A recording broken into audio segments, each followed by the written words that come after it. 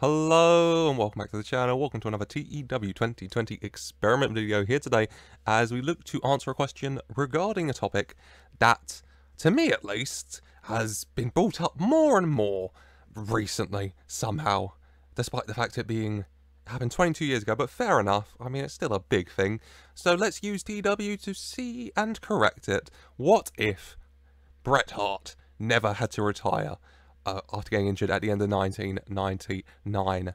So, I mean, you can headcanon this in two ways. You could do it as what if Goldberg was a really safe worker, but I don't know if you can suspend your disbelief that far, or you could just do it as what if Bret Hart just never wrestled him. That works as well. So we've wound the clock back uh, to Monday, week 1, January 2000. Now, of course, uh, Bret Hart picked up the match in a match with Goldberg. Uh, he got that injury in Starrcade 1999, which was in December of 1999. Uh, so we just gone January 2000, very close. I've made Bret Hart the peak of physical health. Everything was at 100. Uh, I mean, this is probably the best way to demonstrate that by just going here. Uh, Bret, Bret Hart, here he is. Come on, load up for me, Bret. Come on, come on, here he is. Bret Hart, physical health 100 100 100 100 peak physical fitness. This is peak male form everybody. Bret hart in 1999 slash 2000 active no injury no hope of retirement anytime soon i don't think. So what we're going to do now is just simulate forward. Bret hart is currently in world championship wrestling wcw he's one of their major stars. Goldberg's their figurehead. Hopefully he doesn't injure anyone else in this universe don't keep your fingers crossed for too much. So without further ado, let's simulate forward to as close as possible to the end of Bret Hart's career. Uh, when he decides to end it, how old is he? He's 42. So he's still getting on a bit. He's the WCW World Champion though.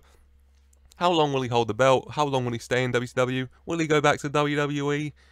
Who knows? Let's go find out.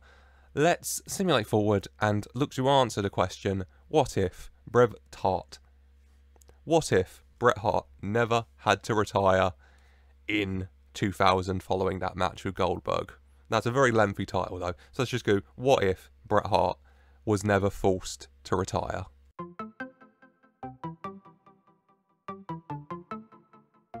And here we are, Monday, week 1, January 2005. Chris Jericho is the Wrestler of the Year.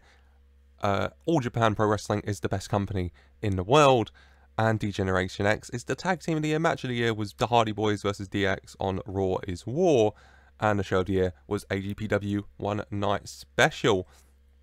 I don't know, they're the second biggest, but still pretty big, let's be honest. WCW, I'm not really seeing you, babes, so I'll assume that you've done a Tony Khan and gone out business. You have.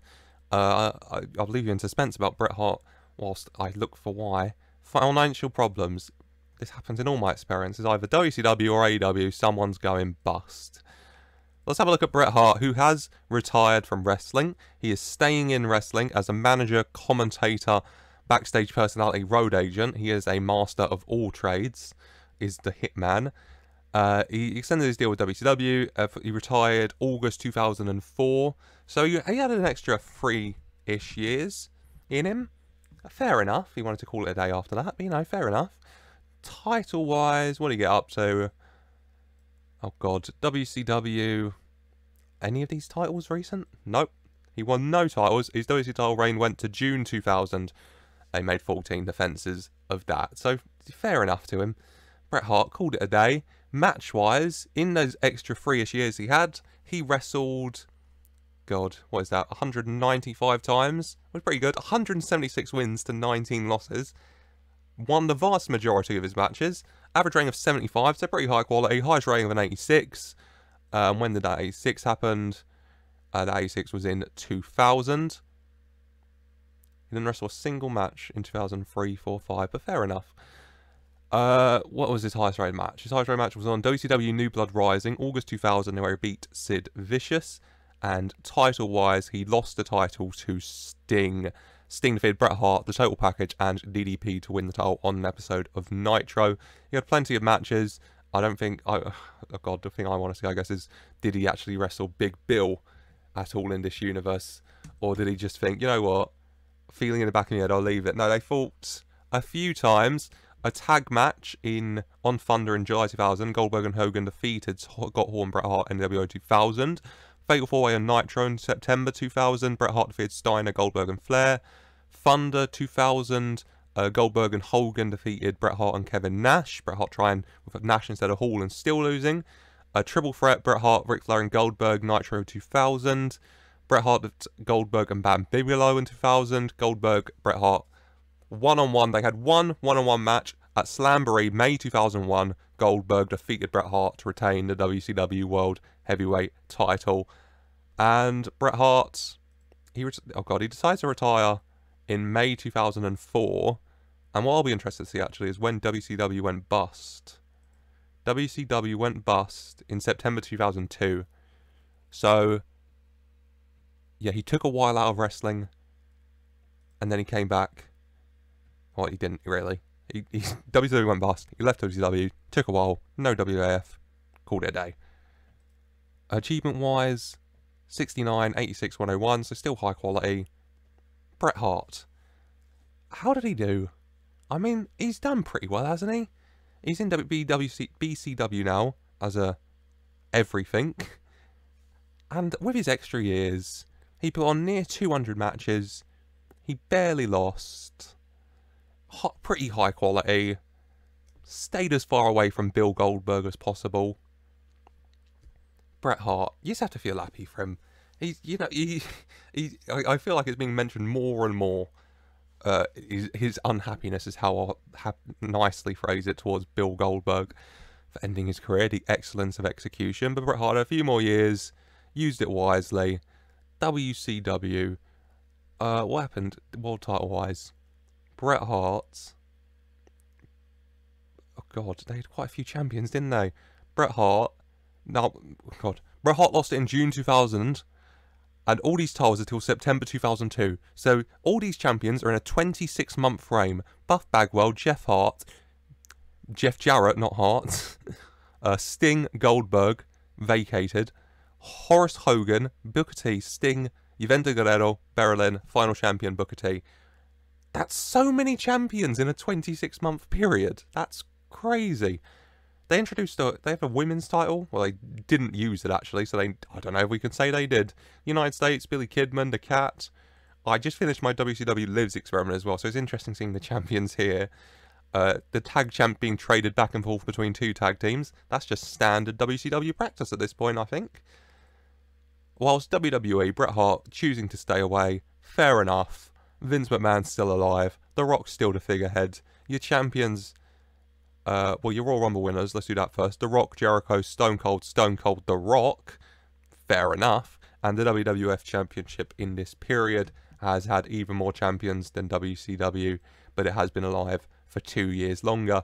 And the champions were Stone Cold lost it to The Rock, pretty standard. Actually, actually, yeah. Big Show lost it to Stone Cold to The Rock to Stone Cold to Chris Jericho.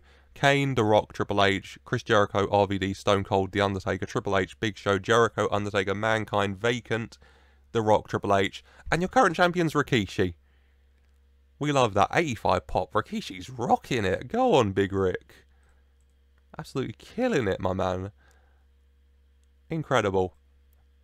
Incredible. I don't know what else to say, really this episode this episode is probably going to be one of the shorter experiment videos because there's not much else to say. WCW didn't stay along around too long, and even when it was around, Bret Hart, I mean, he, he fought a lot of matches, he didn't win many titles, and then it died, and his options were go Japan, no thank you, go to WWF, hell no, I'll just retire, and now he's just a jack of all trades for Border City Wrestling. He's their biggest star understandable. He's contesting with Disco Fury and Big Titan over here. But fair enough. Fair enough. Fair enough. That's going to be it for today, though. Short episode today. Not much else to say. Let me know what you thought in the comments down below.